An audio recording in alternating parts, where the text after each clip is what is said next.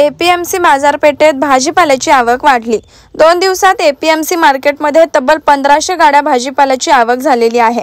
आवक जास्त आहे पण ग्राहक नसल्यानं भाजीपाला तसाच पडून आहे.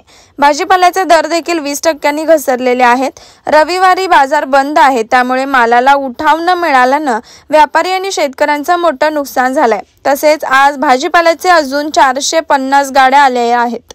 यामुळे व्यापारी आणि शेतकऱ्यांच्या चिंतेत वाढ झालेली आहे. Bureau report S B N Marathi Navi Mumbai.